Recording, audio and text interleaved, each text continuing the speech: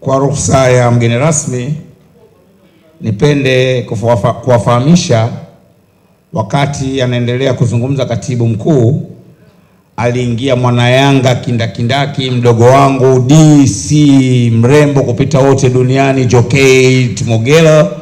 Ningeomba walau kwa dakika moja usalimie, ili baadaye tumpe nafasi mgeni rasmi aweze kuzungumza.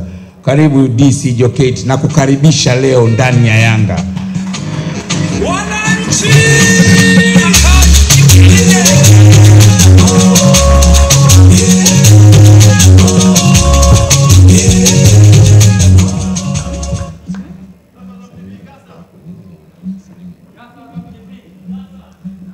Habari za mchana.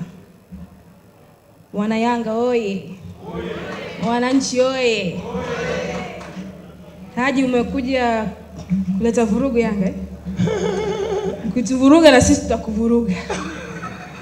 Jamani, mimi ni ushukuru uongozi wa Yanga, nitambue uwepo wa viongozi wetu mbalimbali kutoka TFF na hususan wadhamini lakini kipekee ni washukuru uongozi wa Yanga kwa kuweza kunialika kuweza kuhudhuria hafla hii ya kuzindua jezi mpya ya msimu unaokuja 2020-2021 na kiukweli nikiwa kama mwana TMK maeneo ambayo ndiyo mnafanya vurugu nyingi zaidi za mpira, nimefarijika kuweza kufika mchana wa leo hapa na kujumuika nanyi.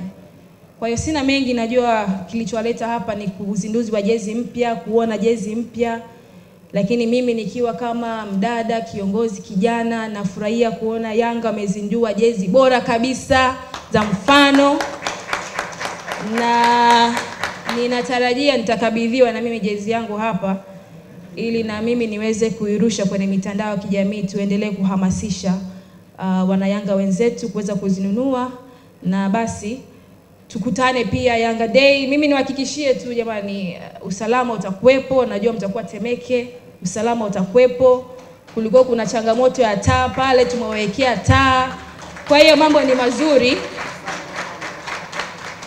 Jumapili mkija, mjimwae mwae tu, wananchi wajitokeze kwa wingi kusherekea Yanga Day, usalama utakuwepo. Asanteni sana. Ili kwa wa kwanza kupata habari zetu, tafadhali usisahau kusubscribe, like na kucomment.